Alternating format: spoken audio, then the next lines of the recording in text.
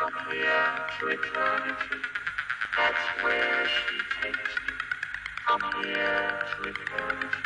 With love, with love.